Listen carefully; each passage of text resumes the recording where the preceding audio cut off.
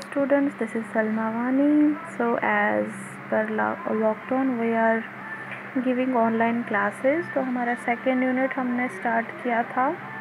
Second unit का हमने measuring tools cutting tools और मार्किंग टूल्स तक हमने पढ़ा था। आज हम पढ़ेंगे नीडल्स के बारे में।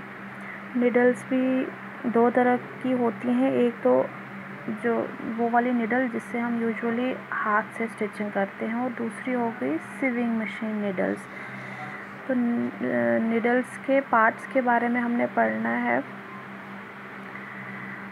इस सेशन में आपने निडल्स और थ्रेड जो आपका टॉपिक है, ये बोलता है कि निडल्स की कई किस्में हैं।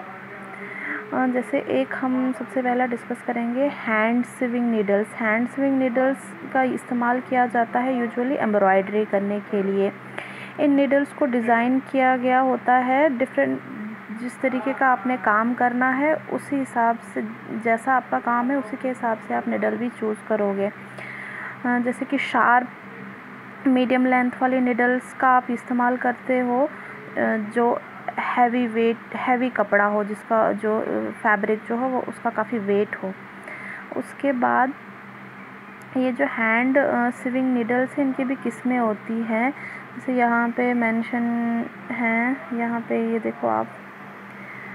Milliner needle sharp needle and between needle तो जो मिलीनियर्स निडल होती है, ये टक्किंग के लिए इस्तेमाल होता है। टक टैकिंग का मतलब होता है टाँके, जिससे हम देर से हाथ से आप सिलाई करते हो तो वो जो एक एक स्टिच आता है, आप उसको टैक बोलते हो।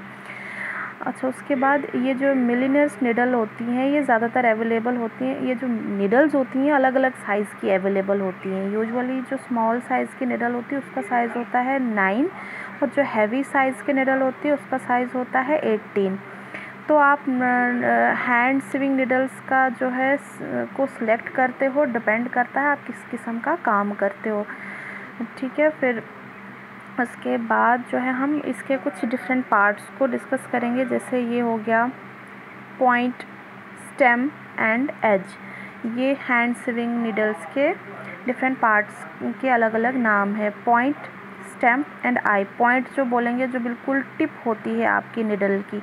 उसको हम पॉइंट बोलेंगे, उसके बाद पॉइंट के थोड़ा सा ऊपर जो इसका पोर्शन है, थोड़ा मोटा है, उसको हम स्टेम बोलेंगे और निडल आई जिसको थोड़ा होल जैसा बना होगा, उसको हम निडल आई, वो जिससे हम धागा पास करते हैं यूजुअली जो हम घरों में निडल यूज़ करते हैं, उसके होल से हम धागा निकालते हैं और टिप से हम टिप को हम इंसर्ट करते हैं फैब्रिक में, जब हमने कोई स्टिचिंग करनी हो। ओके उसके बाद आ जाती है जो सिविंग नीडल है। सिविंग नीडल के पार्ट्स के बारे में हम डिस्कस करते हैं। सिविंग नीडल थोड़ी अलग अलग किस्म की होती है। दो पिक्चर्स हैं यहाँ पे। ये फ़र्स्ट और दूसरी सेकंड अब हम इसके पार्ट्स के बारे में डिस्कस करेंगे। सबसे पहला हो गया बट उसके बाद शैंक उसके बाद शोल्डर फिर blade long groove short groove needle eye scarf point और टिप। अब हम इसको वन बाय वन डिस्कस करेंगे। तो सिविंग नीडल के कई सारे पार्ट्स होते हैं, उनके अलग अलग नाम हैं। जैसे फ़र्स्ट वन हो गया but second one shank third one shoulder fourth one blade fifth one long groove six one short groove seventh needle eye eighth scarf ninth point and tenth tip अब हम इनको वन बाय वन डिस्कस करेंगे। पहले आपको इनकी photo दिखा देते हैं कि ये दिखने में कैसे होते हैं, आपको याद रहेगा। ये देखिए, स्कार्फ कहाँ पे हम बोलते हैं, किस चीज़ को बोलते हैं? निडल आई कहाँ पे है? ब्लेड कहाँ पे shank, button, short groove, point, tip. First picture आप जो देख रहे हो यहाँ पे, ये फ़र्स्ट पिक्चर है। ये हो गया आपका ब्लेड, ये हो गया आपका शेंक फिर आप सेकंड पिक्चर में देख रहे हो जो निडल का फ्रंट पोर्शन होता है ये वाला। ये इसका टिप हो गया, ये पॉइंट हो गया, ये आई हो गया, जहाँ से आप धागा निकालते हो, ये शॉर्ट ग्रूव हो गया। ये ज़्यादातर सिविंग मशीन का निडल है। उसके बाद स्कार्फ आई निडल आई के ऊपर वाला portion scarf long groove short groove ठीक है?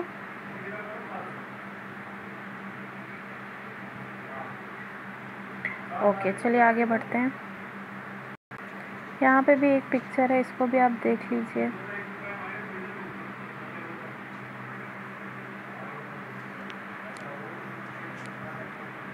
हाँ जी।